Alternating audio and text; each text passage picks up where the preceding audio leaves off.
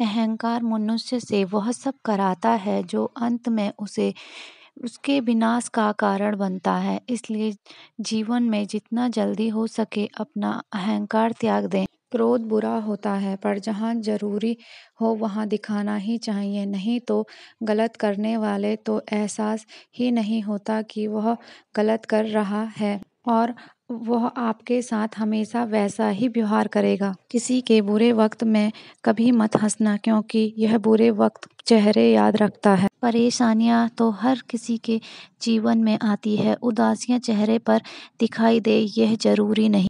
सबसे समझदार और सातिर बुद्धिमान वह व्यक्ति वही है जो सफलता मिलने पर अहंकार में नहीं आता और और विफलता में गम में नहीं डूब जाता। अगर मेरे भक्त मौन होकर मेरे विश्वास पर सब सुन रहा है तो याद रखना उसके मौन का और उसके विश्वास का जवाब स्वयं मैं दूँगा। गीता में लिखा है, जब इंसान को ज़रूरत बदल जाती है, तब इंसान के बात करने का तरीका भी बदल जाता है। जब तक आपकी सोच और विचार अच्छे नहीं होते, तब तक आपके अच्छे दिन नहीं आते।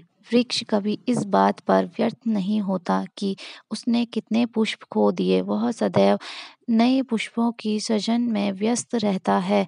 जीवन में इतना कुछ खो गया, इसकी पीड़ा को भूल कर क्या नया कर सकते हैं? इसी में जीवन की सफलता है। कोई फ़ायदा नहीं किसी के पीछे पीछे जाने का।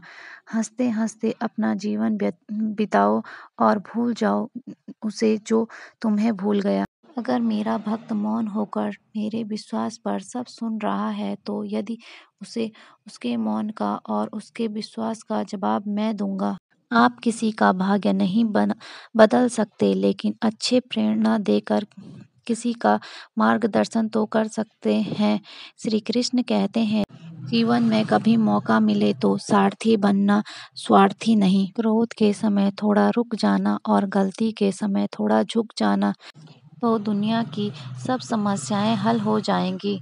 सबसे समझदार और स्थिर बुद्धिमान वाला व्यक्ति वही है जो सफलता मिलने पर अहंकार में नहीं आता और विफलता मिलने में गम में नहीं डूब जाता।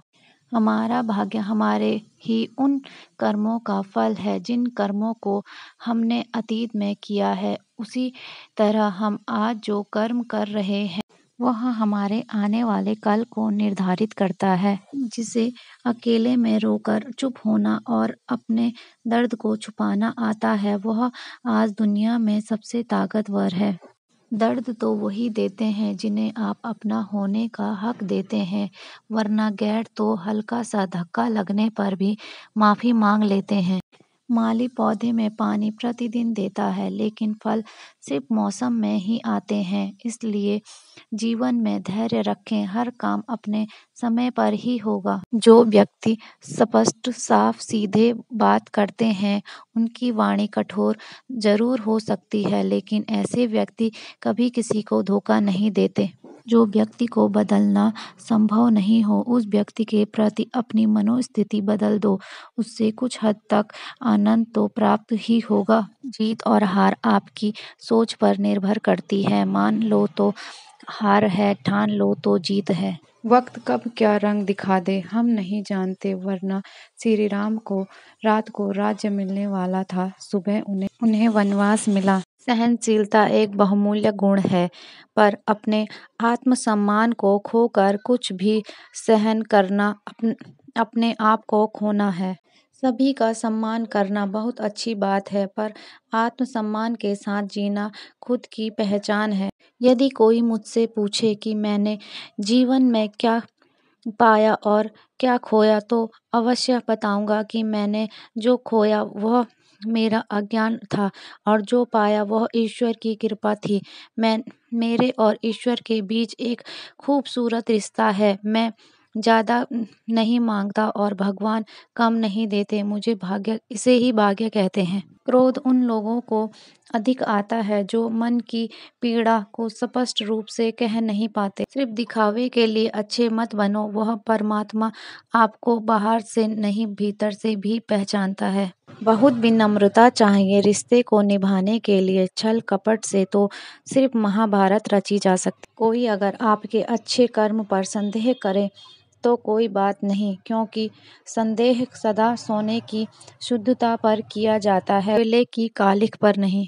छोटी सोच शंका को जन्म देती है और बड़ी सोच समाधान को सुनना सीख लो तो सहना सीख जाओगे, और सहना सीख लिया तो रहना सीख जाओगे। मनुष्य अपने विश्वास से निर्मित होता है, जैसा वह विश्वास करता है, वैसा वह बन जाता है।